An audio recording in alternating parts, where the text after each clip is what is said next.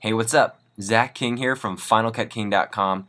I've got Final Cut Pro 7 open and I'm going to show you how I did a recent video trick. Before I go into the tutorial, I want to let you know I've got a new video out.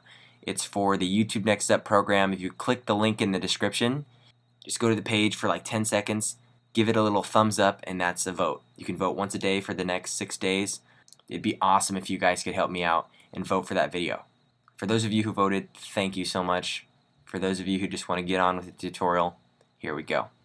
So if you haven't seen the goldfish video, go ahead and check it out in this link so you can know what I'm actually talking about. This is really simple effect. I've also posted tutorial footage for you to follow along. So if you've got that opened up, bring it down. Let me give you a little run through of what we've got. We've got the solved Rubik's Cube, and yes, I can solve the Rubik's Cube. If you have any weird hobbies of your own, comment below and let me know. So I've got a few different kind of timings uh, going inside the box, going outside the box with the solved Rubik's Cube because we're going to eventually crop this right here. So when I shot this, I knew that I didn't want myself to cross here, or if I did, I would have to actually mask out. What I'm going to do is go to the last half of the video where I actually start my intro and talk. I'll make a cut here. And we're going to go ahead and watch it, and as we watch, we're going to hit the M key which will create a marker up here in our playhead area. And I'm going to mark each area where we need to insert the solved Rubik's Cube. Hey, what's up guys? I'm going to show you how to solve a Rubik's Cube with a goldfish box. Watch closely how I do this. Solved, unsolved, solved, unsolved. Let's do it again. Solved, unsolved. So I put it through the box three times. I've got three markers. Again, I just hit the key command M. Now we're going to go back and we're going to look for areas where it's solved. So start about right here. Hit the B for cutting. Solved. And I'm going to cut that. And we're just going to put this up above. I'm going to delete the audio. If you want to just delete the audio, hold down Option to select, or same with the video track. So we're going to put that near our marker area.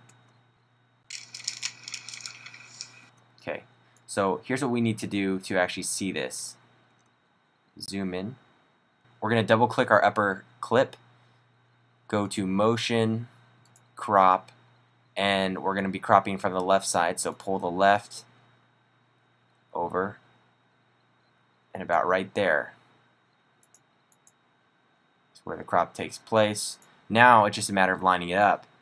So that's about where we need it to pop out.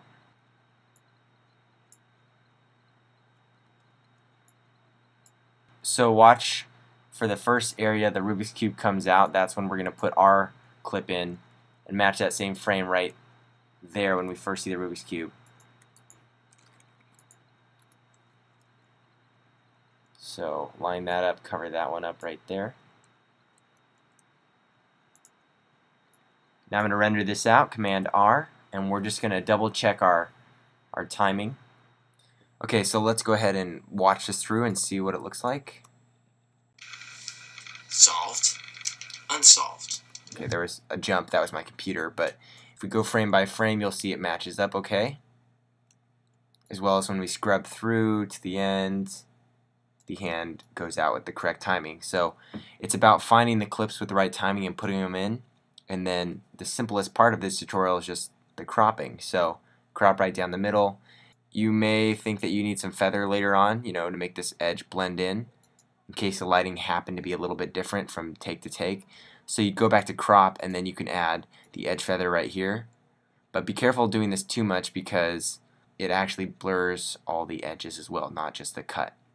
So continue to do that for the rest of the three markers with the footage that I've given you guys and then when you're done you just delete that first area. You can drag it all in the beginning and then you've got your video all finished. So if you want to practice with the footage I've given you, do that. Feel free to post it online on your channel and then put it as a video response to mine so I can see. So that's what I guess we're going to call the Rubik's Cube effect in Final Cut Pro. If you have any questions, check out the Facebook page for Final Cut King. You can comment below. And don't forget to vote for my video. That's part of the YouTube Next Step program. The link is in the description. You guys are awesome. I'll see you in the next video tutorial.